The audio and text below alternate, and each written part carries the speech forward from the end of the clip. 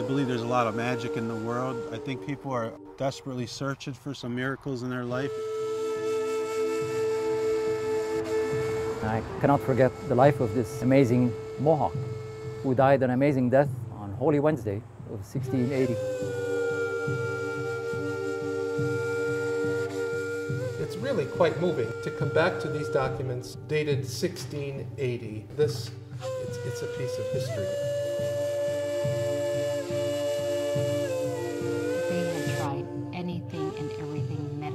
Possible. This bacteria was just consuming him by the minute.